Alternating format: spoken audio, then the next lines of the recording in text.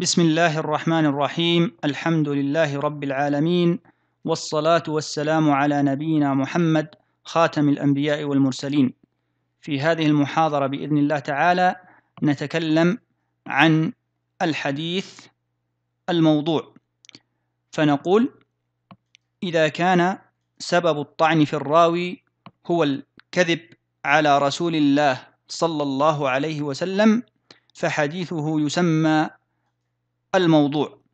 ونقول في تعريف الحديث الموضوع في اللغة هو اسم مفعول من وضع الشيء أي حطه سمي بذلك لانحطاط رتبته. أما اصطلاحا فالحديث الموضوع هو الكذب المختلق المصنوع المنسوب إلى رسول الله صلى الله عليه وسلم. هذا هو تعريف الحديث الموضوع. الحديث الموضوع هو شر الأحاديث الضعيفة وأقبحها وبعض العلماء يعده قسما مستقلا وليس نوعا من أنواع الأحاديث الضعيفة. أما بالنسبة لحكم روايته فأجمع العلماء على أنه لا تحل روايته لأحد علم حاله. في أي معنى كان؟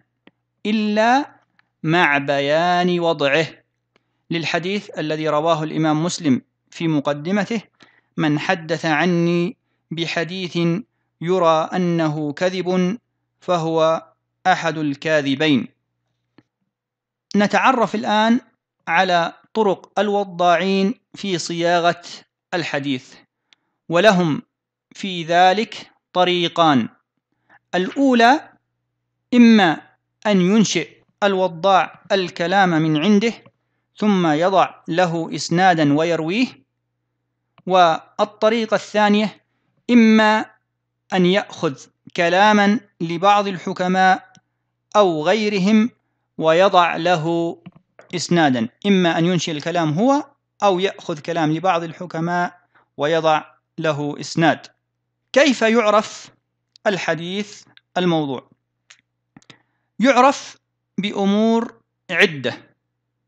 أولها إقرار الواضع بالوضع كإقرار أبي عصمة نوح ابن أبي مريم بأنه وضع حديث فضائل سور القرآن سورة سورة عن ابن عباس رضي الله عنه. الأمر الثاني الذي نعرف به الحديث الموضوع ما يتنزل منزلة إقرار الواضع. كأن يحدث هذا الواضع عن شيخ فيسأل عن مولده هو فيذكر تاريخا تكون وفاة ذلك الشيخ قبل مولده هو ولا يعرف ذلك الحديث إلا عنده.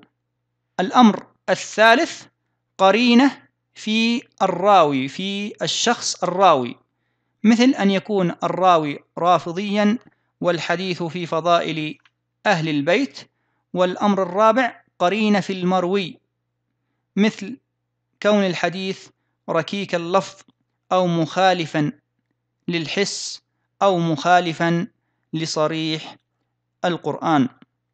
في المحاضرة القادمة بإذن الله تعالى نتكلم عن دواعي الوضع وأصناف الوضاعين والسلام عليكم ورحمة الله تعالى وبركاته.